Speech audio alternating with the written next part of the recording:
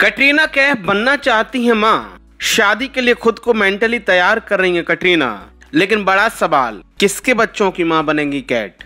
कटरीना कैफ को लेकर कई महीनों से खबर आ रही है कि वो शादी कर सकती हैं, लेकिन साल बदल गए। कटरीना कैफ दुल्हनिया नहीं बन पाई। अब कटरीना चाहती हैं कि उनकी शादी हो जाए। एक इंटरव्यू में कटरीना ने अपने दिल की बात कही है। इस इंटरव्यू में उन्होंने अपने फ़िल्म प्रोजेक्ट के साथ साथ फ्यूचर प्लान पर भी बात कही। इसी दौरान कैट ने ऐसी बात कह दी, जिसका इंतज़ार उनके फैंस सालों से कर रहे थे।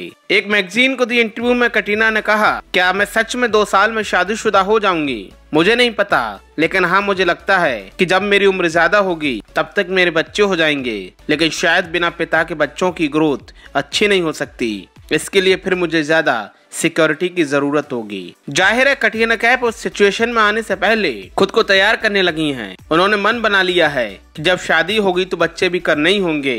हालाँकि कैट ने इस जवाब के दौरान पिता को लेकर इनसिक्योरिटी जताई। कटीना के मुताबिक मैं किसके बच्चे की माँ बनूँगी? ये मैं नहीं जानती। मैंने अपनी ज़िंदगी में बहुत कुछ खोया है। कई बार शर्मिंदा हुई हूँ। अकेलापन भी सहा है। कई बार तो ऐसा महसूस किया है, जैसे मैं किसी दूसरे ग्रह से आई हूँ। इसके बाद कटीना ने फ़ौरन ही खुद को बैकफुट पर किया और ऐसा नया जवाब दिया, जो उनके फैंस को पसंद आने वाला है। बच्चों से जुड़े सवाल पर कटीना ने फिर से कहा, शादी के बाद मैं चाहती हूँ कि मेरे ढेर सारे बच्चे हों। अपने बच्चे को मैं बहुत लाड से रखूँगी। इस इंटरव्यू में कटीना से उनके होने वाले पति के बारे में पूछा गया। लेकिन वो जवाब नहीं दे पाई। उन्होंने ये भी नहीं बताया कि आखिर उनका पति कौन होगा।